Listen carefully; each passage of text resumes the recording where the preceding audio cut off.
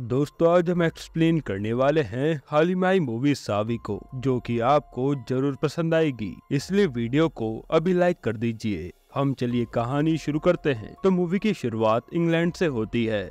जाम सावी नाम की एक लड़की को देखते हैं, जो बहुत ही घबराई हुई थी और अपनी कार से कहीं जा रही थी। तभी बीच रास्ते में सावी अपनी कार रोकती है और एक डेड बॉडी निकाल कर सड़क के किनारे रख कर वहाँ से चली जाती है। अब मूवी में हमें पाँच महीने पहले का सीन दिखाया जाता है, जहाँ हम सभी उसके हस्बैंड नकुल और उसके बेटे आदि को देखते हैं। और ये लोग नकुल के पापा से वीडियो कॉल पर बात कर रहे होते हैं। यहाँ नकुल के पापा उन्हें अपने पास इंडिया मिलने के लिए बुला रहे थे। तब नकुल अपने पापा से कहता है कि उसे छुट्टी नहीं मिल रही, लेकिन वो फिर भी ट्राई करेगा जल्दी से जल्दी आने का। अब इसी बीच हम देखते हैं कि नकुल अपने डायबिटीज़ के लिए इंसुलिन ले रहा है। खैर, इसके बाद जब नकुल ऑफ़िस जाने के लिए अपना कोट पहनता है, तब वो देखता है कि उसके कोट में लाल रंग का दाग लगा हुआ है, जिसे साफ़ करने के लिए वो वॉशरूम चला जाता है। अब इसी बीच घर की डोरबेल बजती है और जब सावी डोर ओपन करती है तो वहाँ पर इंस्पेक्टर आयशा होती है, जो सभी से कहती है कि वो नकुल को उसके बॉस के मर्डर के जुर्म में अरेस्ट करने आई है। यह सुनकर सावी हैरान हो जाती है और वो उनसे कहती है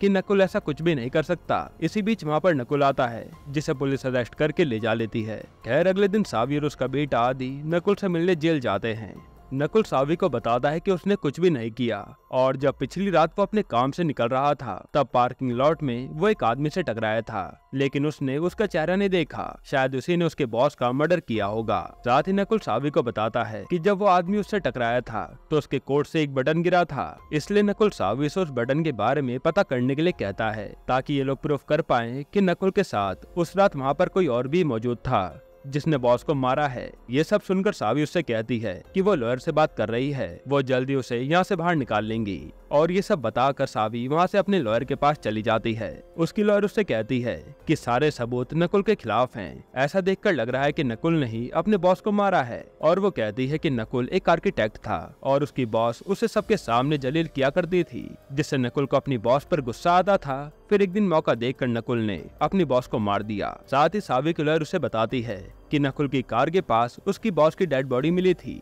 और उस रात को नकुल की कलीग ने उसे खुद वहाँ से जाते हुए देखा है। साथ ही यहाँ हमें यह भी पता चलता है कि नकुल के बॉस को जिस चीज़ से मारा गया था, उस पर नकुल के फिंगरप्रिंट्स मिले हैं और नकुल के कोट पर जो खून लगा था, वो नकुल के बॉस का ही था, जिसके तहत पुलिस ने नकुल को अरेस्ट किया था। अब सबूत के आधार पर सभी के लॉयर को भी यही लग रहा था कि नकुल ने ही अपनी बॉस का मर्डर किया है। इसलिए वो कुछ भी नहीं कर पाएगी। सभी लॉयर से उस बटन के बारे में बताती है। तब लॉयर कहती है कि पुलिस ने क्राइम स्पॉट पर जाकर एक एक चीज़ देखी है, लेकिन उन्हें वहाँ पर कोई बटन नहीं मिला। ये सब बताकर लॉयर वहाँ से चली जाती है। खैर, अब इधर हम देखते कि नकुल जब जेल में होता है, तब उसके पास कैदी आते हैं, जो नकुल से ड्रग्स छुपाने के लिए कहते हैं। लेकिन नकुल मना कर देता है। अब यह सुनकर उन कैदियों को बहुत गुस्सा आता है और वो सब मिलकर नकुल को पीटने लगते हैं। जिससे नकुल काफ़ी जख्मी हो जाता है। इसके बाद उसे हॉस्पिटल में एडमिट किया जाता है। अब ये बात जब सभी को पता चलती है तो वो तुरंत हॉस्पिटल आती है, जहाँ वो नकुल की हालत देखकर काफ़ी टूट जाती है।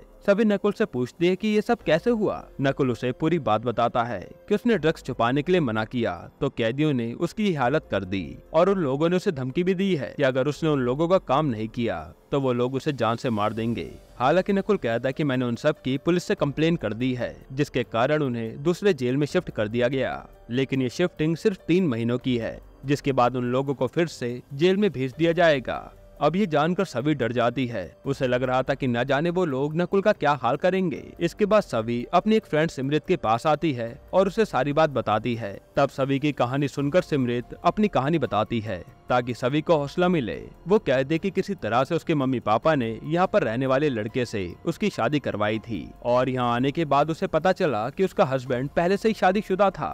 यहाँ तक कि उसका एक बच्चा भी था। जिसके बाद उस आदमी ने उसे एक नौकर की तरह ट्रीट करा, जहाँ उसका हस्बैंड उसे रोज ड्रिंक करके मारा करता था। और इसी तरह से एक दिन जब उसके हस्बैंड ने उसे बहुत मारा तो उसने किचन से चाकू निकालकर उसे जान से मार दिया, जिसके बाद सिमृत को दस साल की जेल हो गई। दस साल जेल में रहने के बाद जब वो बाहर आई तो उसने एक जॉब करी, और फिर पैसा जोड़कर उसने एक अच्छा सा घर खरीदा, जिसके बाद उसने अपनी माँ को भी बुला लिया।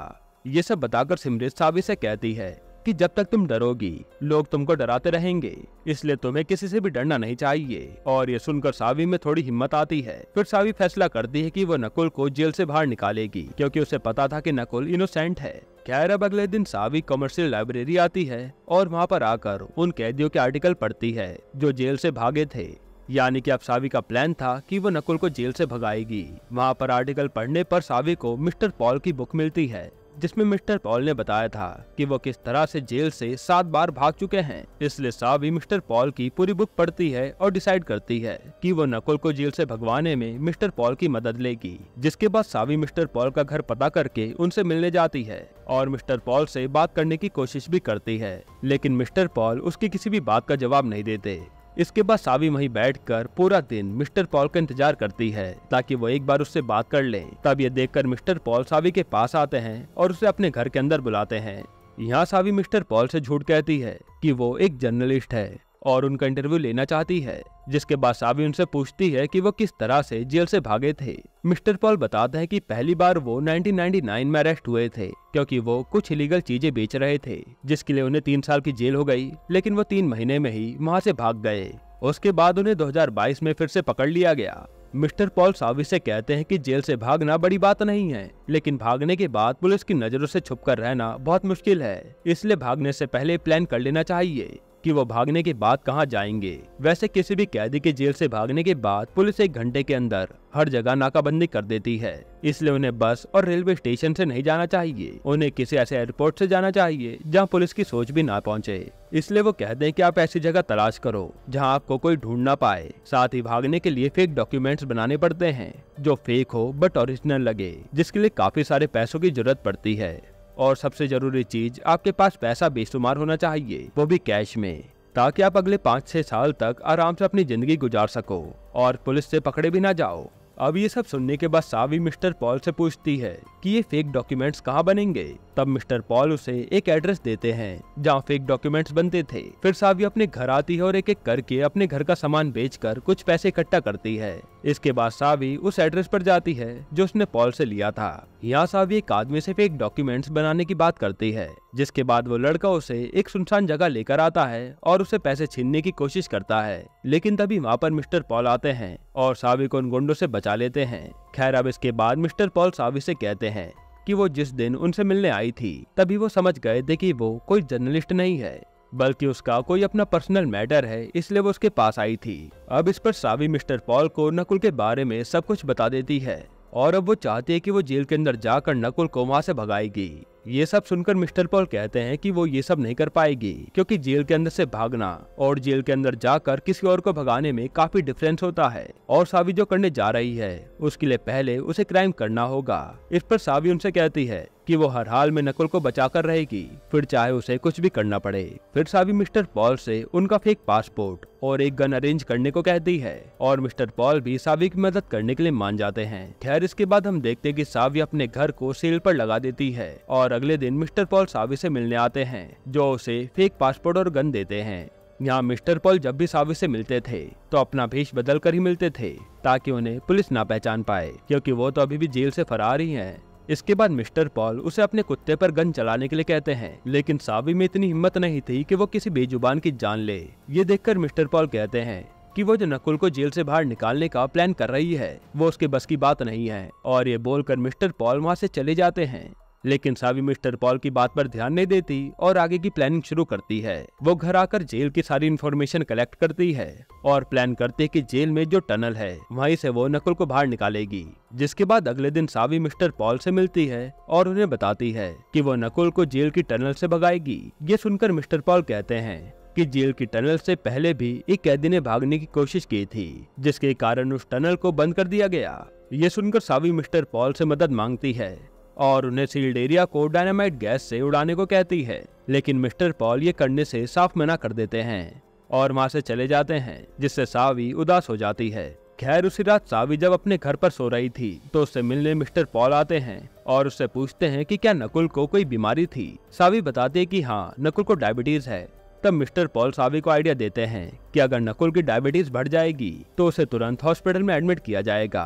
अभी सुनकर सावी को याद आता है कि नकुल ने उसे बताया था कि हर रोज जेल में एक आदमी उसका टेस्ट लेने आता है, यानी कि नकुल का हर रोज जेल में डायबिटीज़ चेक किया जाता है। इसके बाद सावी अगले दिन जेल के बाहर रुककर नज़र रखती है कि वो आदमी टेस्ट के लिए कब आता है और वहाँ से कब जाता है।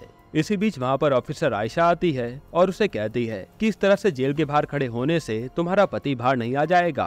तब सावी उनसे क्राइम स्पॉट पर एक बटन ठीक से ढूँढने को कहती है। और वहाँ से चली जाती है। इसके बाद वो उस हॉस्पिटल वाली वैन का पीछा करती है कि वो लोग उन कैदी की रिपोर्ट्स को कहाँ लेकर जाते हैं। अब सब पता करने के बाद सावी अपने घर आती है, जहाँ उसे पता चलता है कि उसके घर को खरीदने के लिए अभी तक एक भी डीलर नहीं मिला, जिसके कारण वो बहुत परेशान हो जाती है, क्योंकि उसे यहाँ से भागकर अगले पाँच छह सालों का गुजारा करने के लिए पैसे चाहिए थे। वो भी जल्द से जल्द इसके बाद सावी कुछ गुंडों के पास जाती है और उन्हें गन पॉइंट पर रखकर उनसे पैसे मांगती है, जिससे वो गुंडे उसे पैसों से भरा बैग दे देते हैं। इसी बीच मौका देखकर वो गुंडे उस पर फायरिंग करते हैं और सावी बचने के लिए उन पर फायरिंग करती है, जिसमें एक गुंडे की तो मौत हो जाती है और दूसरा घायल हो जाता है। ये देखकर सावी पहले तो पैसे से भरा बैग अपनी कार में रखती है और साथ ही उस गुंडे को भी अपनी कार में बैठाकर हॉस्पिटल ले जाने लगती है, लेकिन बीच रास्ते में उस गुंडे की मौत हो जाती है। जिसके बाद सावी सड़क के किनारे उस गुंडे की डेड बॉडी छोड़कर वहाँ से चली जाती है। और ये वही सीन था जो हमने मूवी की शुरुआत में देखा था। खैर, उसके बाद सावी सीधा मिस्टर पॉल के घर आती है, जहाँ मिस्टर पॉल उसके फ़ोन को फेंक कर उसे एक नया फ़ोन देते हैं। साथ ही वो सावी को अपनी कार चेंज करने के लिए कहते हैं। खैर, अब अगले दिन सबसे पहले सावी उन्हीं पैसों से एक कार खरीदती है, जिसके बाद सावी कैश में अपने लिए तीन टिकट्स भी खरीदती है। फिर सावी घर आकर नकुल की फेक रिपोर्ट्स बनाती है। और सावी ने नकुल को निकालने में जो एविडेंस कलेक्ट किए थे, उन सबको फाड़ कर डस्टबिन में फेंक देती है, क्योंकि ये अब कोई काम के नहीं थे। इसके बाद सावी नकुल के पापा को कॉल करके कहती है कि वो कुछ दिनों तक उन्हें कॉल ना करे। ये सुनकर नकुल के पापा इसका कारण पूछते हैं। तो सावी उन्हें कुछ भी नहीं बताती, जिससे वो समझ जाते हैं कि ज़रूर सावी और नकुल किसी मुसीबत में हैं। खैर, अब सावी अपना सामान पैक करके आदि को लेकर वहाँ से निकल जाती है और आदि को अपनी दोस्त सिमरत के पास छोड़कर सीधा जेल जाती है, जहाँ वो हॉस्पिटल वैन को देखती है इसके बाद सावी उसका पीछा करती है और जब वो वैन हॉस्पिटल के पास आकर रुकती है, तब वो मौका देखकर नकुल के फेक रिपोर्ट्स को उनकी रिपोर्ट से चेंज कर देती है इधर मिस्टर पॉल हॉस्पिटल आकर फ़ोन की वायरिंग काट देते हैं, ताकि यहाँ पर कॉल ना लग पाए। अब जेल की डॉक्टर नकुल की रिपोर्ट्स देखकर उसे तुरंत हॉस्पिटल एडमिट करने के लिए कहती हैं, और जब वो हॉस्पिटल कॉल करते हैं तो उनका कॉल ही नहीं लगता। इसलिए जेल के डॉक्टर इमरजेंसी में नकुल को तुरंत हॉस्पिटल में एडमिट करने ले जाते हैं, और ये देखकर सावी बहुत खुश होती है, जिसके बाद सावी उस हॉस्पिटल वैन का पीछा करती है।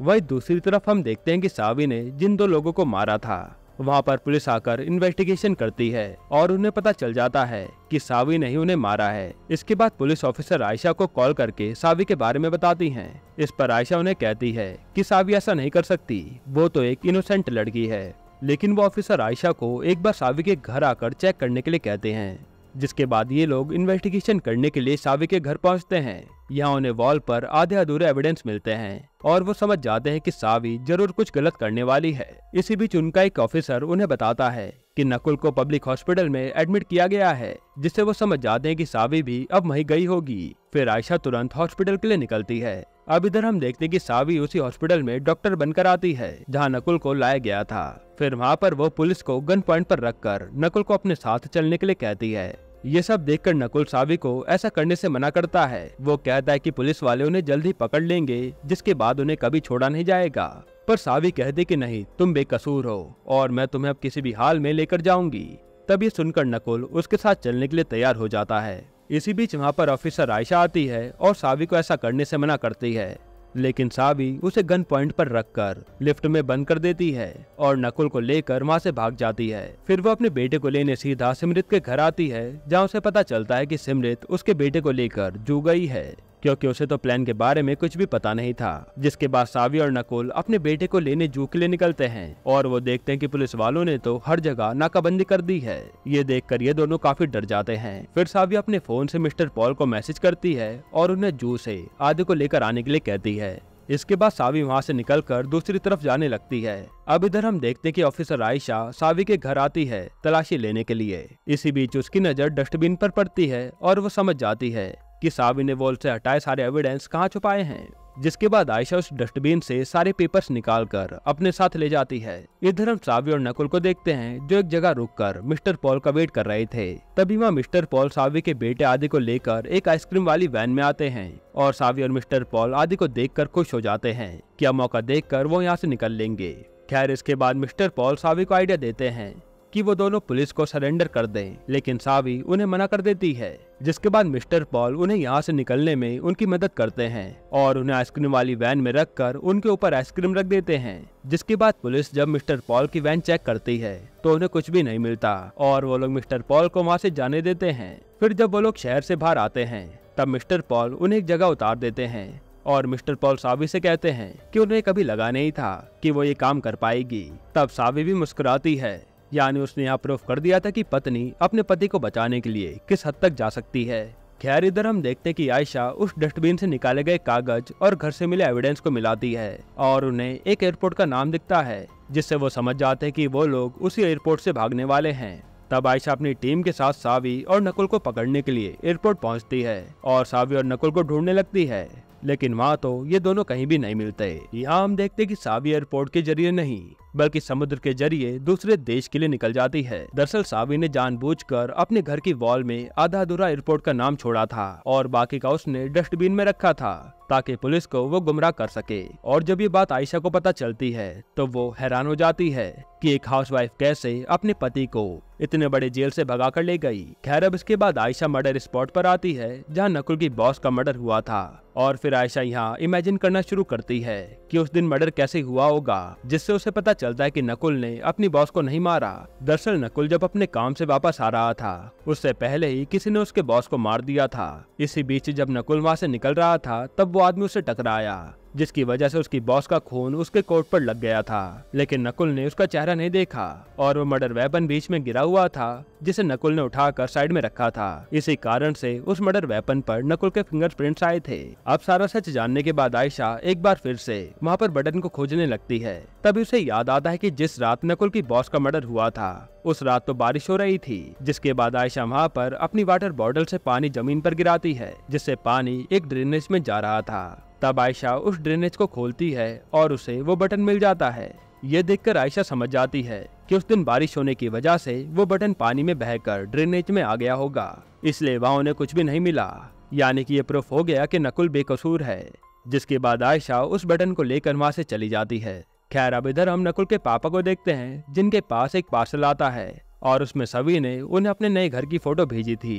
दरअसल सावी अफ्रीका के कंट्री में थी, ये देखकर वो बहुत खुश थे। कि वो लोग अब सेफ़ हैं। खैर, अब इधर हम मिस्टर पॉल को देखते हैं, जो सावी पर एक बुक लिख रहे थे। इसी बीच वहाँ पर पुलिस आती है, और उन्हें देखकर मिस्टर पॉल जरा भी हैरान नहीं होते। बल्कि वो तो ये कहते हैं कि उन लोगों ने कितना समय लगा दिया उन्हें पकड़ने में, जिसके बाद मिस्टर पॉल उनके साथ चले जाते हैं, और ये मूवी यहीं पर खत्म होती है। दोस्तों, आपको ये मूवी कैसी लगी हमें कमेंट में ज़रूर बताइएगा। वैसे में अगर आपको एक छोटा सा रिव्यू दूँ तो मूवी काफ़ी अच्छी बनाई गई है, लेकिन कहीं कहीं ऐसा लगता है कि हाँ मूवी और भी बेहतर हो सकती थी। बाकी आपको इस मूवी की स्टोरी कैसी लगी, वो कमेंट में बताइएगा। और अगर आपको हाल ही में आई मिस्टर एंड मिसिस माही देखनी है तो आप ये वीडियो देख लीजिए।